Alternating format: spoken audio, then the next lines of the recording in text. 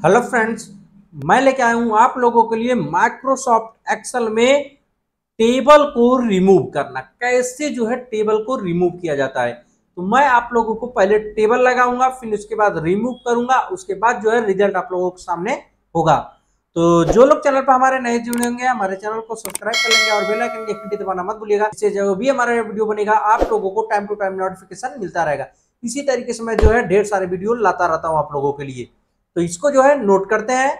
और यहाँ पर देखेंगे कि जैसे कि हमारे पास प्रोडक्ट नेम दिया गया है और इस तरीके से जो भी डेटा आपके पास होगा, उसको मैं पहले टेबल में कन्वर्ट करता हूँ। तो आप लोग क्या करेंगे इंसर्ट में यहाँ पर क्लिक करेंगे और यहाँ पर टेबल दिया रहेगा। यहाँ पर क्या करना आप लोगों को क्लिक कर लेना है।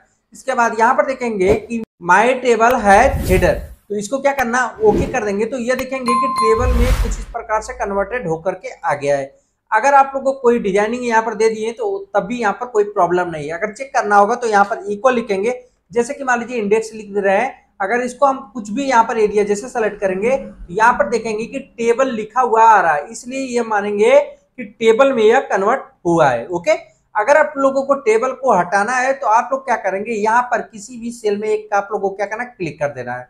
इसके बाद आप लोगों को ऊपर देखेंगे कि डिज़ाइन के एक ऑप्शन मिल जाएगा। यहाँ पर क्या करना आप लोगों को क्लिक कर देना है। इसके बाद आप लोगों को यहाँ पर टूल में मिल जाएगा कन्वर्ट टू रेंज यहाँ पर क्या करना आप लोगों को क्लिक कर देना है। और यहाँ पर आप लोगों को do you want to convert the table to a normal range यह बोल रहा है कि आप लोगों को नॉर्मल रेंज में अगर करना होगा तो यस करिएगा, अन्यथा नो कर लीजिएगा। तो हमें जो है नॉर्मल रेंज में करना है, इसलिए मैं क्या करता हूँ, यहाँ पर यस कर देता हूँ। देखेंगे कि ये नॉर्मल रेंज में आ गया है। अगर इसकी कोई भी फॉर्मेटिंग दिया गया है, इसको अगर हटाना है तो आप लोग क्या करेंगे? सीधे होम मेन्यू में जाएँगे, यहाँ पर देखेंगे। और यहाँ पर क्या करना, आप लोग सबसे पहले जो है सेलेक्ट कर लेना है। होम मेन्यू में जाने के बाद आप लोगों को यहाँ पर मिल जाएगा क्लियर तो यहाँ पर क्या करना क्लियर फॉर्मेटिंग वाले ऑप्शन पर जैसे क्लिक करेंगे तो ये देखेंगे कि नॉर्मल आप लोगों को बन के आ चुका है।